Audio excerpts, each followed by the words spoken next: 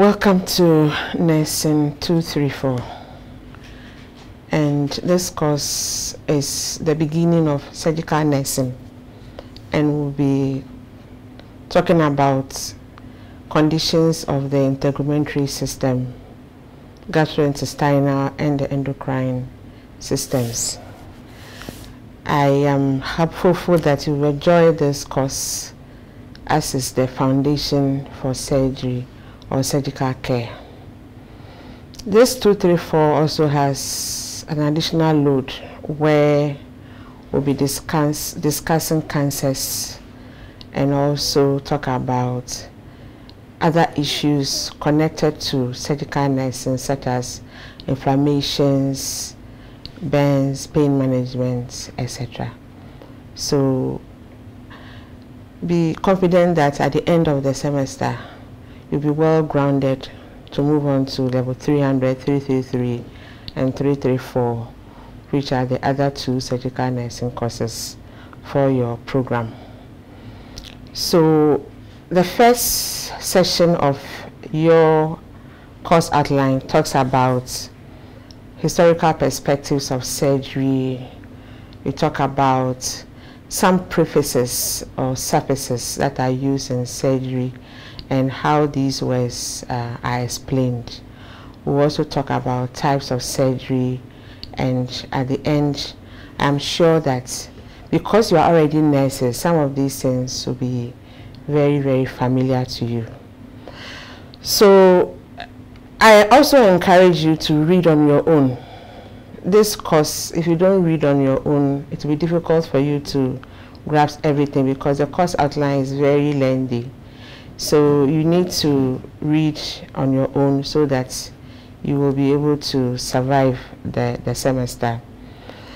When we go down memory lane in terms of history, we are talking about how surgery began and we all know that way before Christ surgery was done the ancient Egyptian surgeons started working on wounds suturing and managing fractures etc and then when you also talk about history, you can't talk about surgery without talking about pain management, control of bleeding, infections.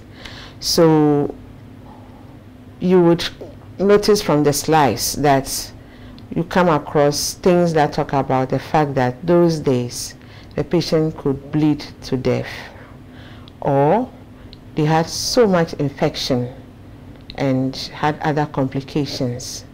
And then there was no anesthesia before um, it was discovered in 1846. So surgery was done without adequate pain control.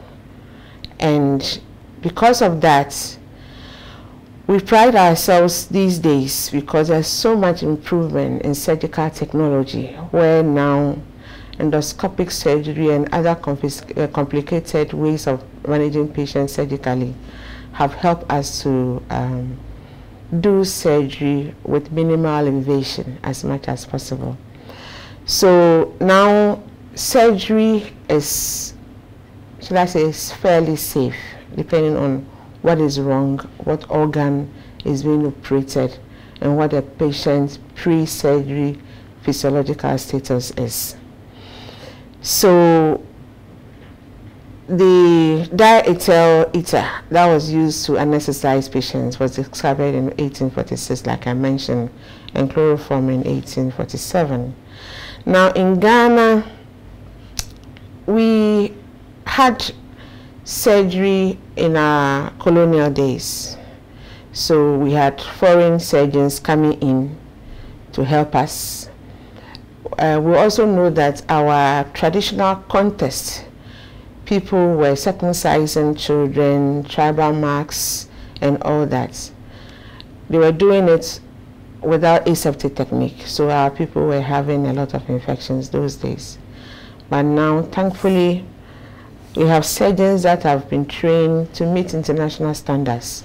So in Ghana, we have a lot of uh, we have made a lot of progress as in specialized surgery and general surgery. One of credits to mention is the National Cardiothoracic Center, which treats patients from across Africa. And we have a lot of specialist surgeons in the country. And then also, we also have um, perioperative nursing program as a specialization at the Korle Bu uh, Nurse and Midwifery Training School. That's where the school is located. So if you're interested to be a specialist surgical nurse, you should be able to, um, after your degree, do that. And then later, when the course is introduced at the Ghana College level, um, you can also continue in that domain. Just note that the post-basic programs, including the perioperative um, training, has been affiliated with University of Cape Coast.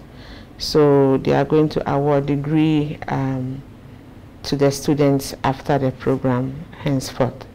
So it is good you have another degree in surgical nursing if that is what you want to do. Surgery in Ghana is performed both at the governmental government hospitals and private hospitals. That we all know. So, I want to move on to. Uh, I encourage you to read about the surgical, uh, the history of surgery on your own. The area of prefaces and surfaces is also something that is very, very familiar to you. In surgery, we use a lot of technical language so you have to familiarize yourself with some of these and I've taken the trouble to put some of these words in a table for you in your slides. So I refer you to go to your slide on Sakai so that you can um, review these. Now, when you have a, a, preface like angio, it refers to blood vessels. So you have angiography, which is an examination, X-ray examination of the blood vessels. Encephal refers to the brain, so encephalitis, encephalopathy, etc. Colpo refers to the vagina. Lamino refers to the vertebrae, etc. So I have a, a number of these uh, prefaces for you um, that I refer the, you to in the um, in your slides in Sakai. Then we'll come to surface, surfaces. Surfaces, um, I brought a few of them also in a tabular form for you. For example, ectomy is a removal, surgical removal of something. So the preface is before the stem word, the surface is after. So mastectomy, removal of the breast, you know and oma refers to tumor so hepatoma hepato hepa is liver so oma tumor of the liver. And so um, again please try and be familiar with some of these words and uh, you will enjoy using them. Then we also um, talk about terminologies commonly used in surgery. And what do we do? We, we do a lot of things related to um, I&D, incision and drainage and other surgical procedures. So you need to know common terminologies that are used in the theater, the recovery ward, on the surgical ward, surgical OPD, etc. So you are working in that environment, you will be able to um, appreciate what is being discussed. So I also brought a lot of them in the slides. For example, aneurysm referring to dilatation of the artery. And you'll be talking about um, aneurysm in lesson 333, I guess, 333, next semester when you go to level 300. So um, just know that you, it's not all of them that you meet in this um, semester for the three courses that you have to do for surgery, you meet most of these words. So cutaneous refers to the skin, um, abscess, of course, a, a pus or um, a collection of pus. They also have um, embolus, which is a clot that is circulating in the blood. hemorrhage, um, bleeding, etc. So, what are the types of surgery? We have basically two, principally, which is emergency or planned. However, if you read other sources, you come across semi-elective. So an emergency surgery is one that is necessary. It's time bound. The life is at stake. So here and now, you have to rush me to the theater to sort out whatever is wrong with me. The plan schedule or elective, as they call it, is well, I have this condition, and without the surgery, I'm okay. I can still live.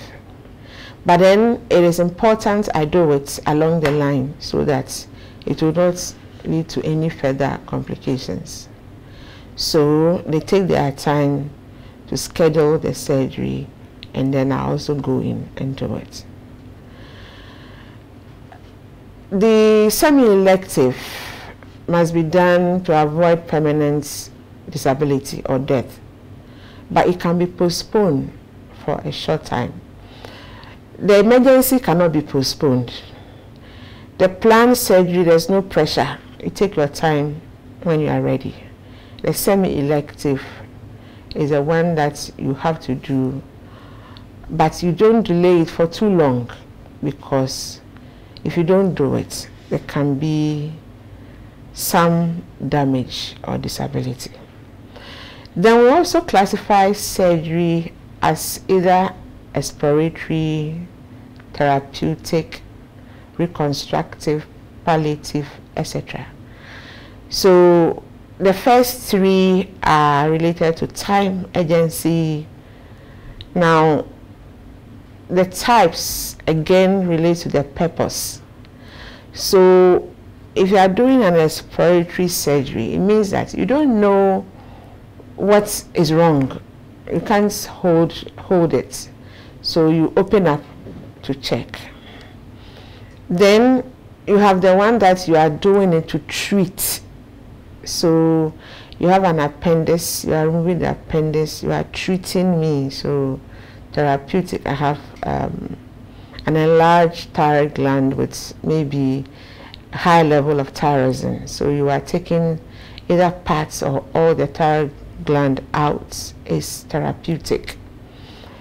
So you have those ones. And then you also have reconstructive, where you have something that is not aesthetic or there's a deformity.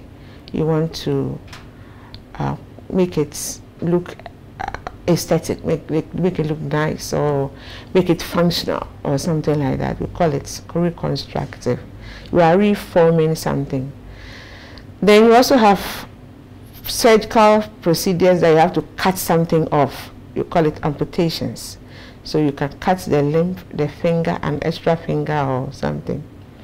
you also have transplant surgeries where you prepare my body enough, check whether we are compatible and all that remove the diseased organ and give me a new one. So all these are in the language of types. Then we also have types relating to the body parts. So like I mentioned thyroidectomy, the neck.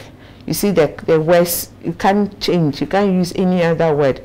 That is why your preface, suffix, and terms used in surgery is the foundation. If you are not sure of these, then progression in surgery becomes difficult. So please take your time and do know your prefaces and suffixes. So when you are using the words, you use it with the confidence that is deserved. So the thyroid gland, the thyroidectomy, um, removal of the stomach, either partial or total gastrectomy. Then you also have types that relates to invasiveness. I mentioned from the beginning that with modern technology, we have been able to uh, come, come up with, I say, gadget equipment that you don't need to cut my body open before you operate me. So when you have surgical procedures that you use a laparoscope or you use any endoscopic um, a, or equipment, that type of surgery is called laparoscopic surgery. So you can do laparoscopic surgery in the chest, the abdomen, and any other part of the body once the technology is available. And then we also have what we call the laser surgery. And this uses light to perform the surgery. And it's also a minimally invasive surgery. And we also have what we call microsurgery.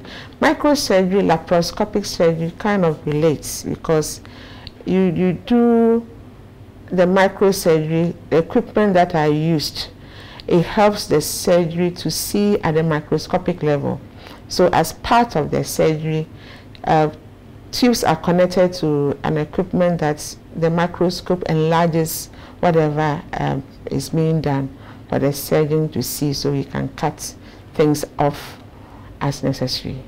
And the last one is robotic surgery where um, complicated machines are used to augment the surgery. So for this initial session, is about terminologies, it's about history, it's about making sure that you can you can fit within the context that this course um, brings to you. So um, some references for you to um, read as you go along your program.